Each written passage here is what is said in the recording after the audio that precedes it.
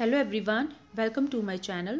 So today we'll discuss the noise and music given in the sound chapter of NCERT science book that is grade 8. So let's get started. We hear different type of sound around us. Is the sound always pleasing?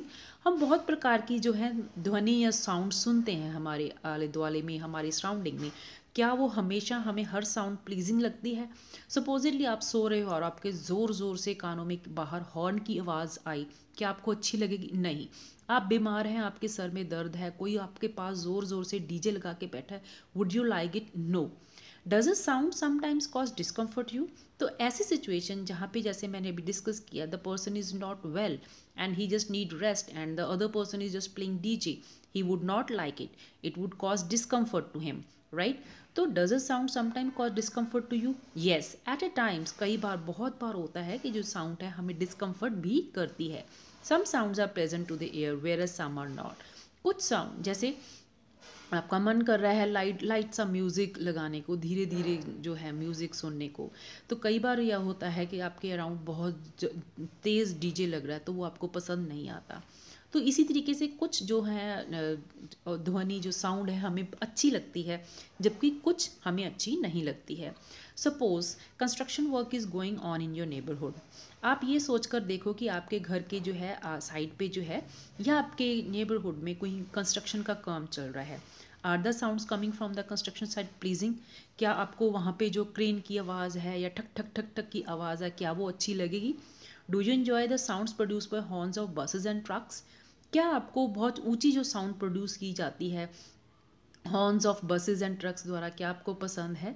Such unpleasant sounds are called noise as is unpleasant sound the most important characteristic here is unpleasant sound it is not pleasing to us the unpleasant sounds are called noise जिसको हम बोलते हैं शोर.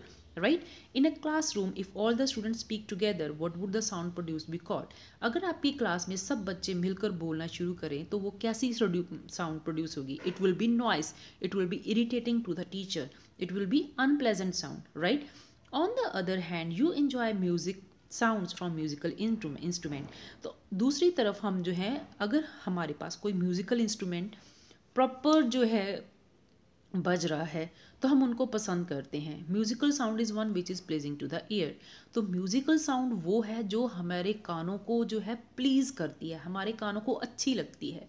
तो music और sound का sorry music और noise का मेन करेक्टरिस्टिक ये है कि जो नॉइस है that is unpleasant sound whereas the music is pleasing sound right sound produced by the harmonium is a musical sound एक हारमोनियम द्वारा जो साउंड प्रोड्यूस की जाती है, उसको हम म्यूजिकल साउंड बोलते हैं। The string of a sitar also give us a musical sound तो एक सितार की जो तार से हमें आवाज़ मिलती है, वो भी म्यूजिकल साउंड होती है।